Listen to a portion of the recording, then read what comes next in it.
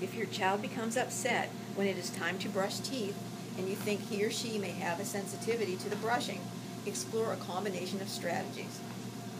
First, have your child engage in a variety of oral motor activities that may be desensitizing him to the brushing.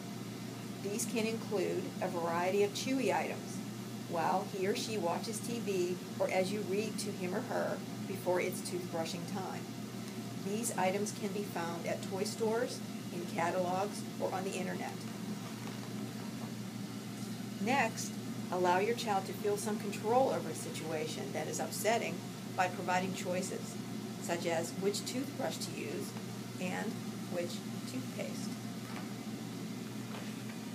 Use a visual mini schedule to help your child see the beginning and the end of the routine. They can follow along each of the steps.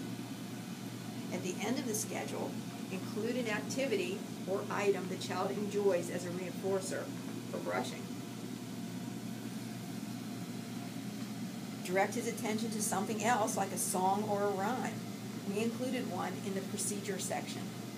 Others can be found commercially or on the internet. You can play his or her favorite CD or even watch a DVD as you brush.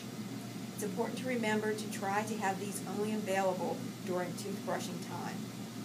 Try these strategies oral motor desensitizing, structured choices, visual supports, turn taking, redirection, and reinforcement to see if any sensitivities or anxieties decrease during toothbrushing.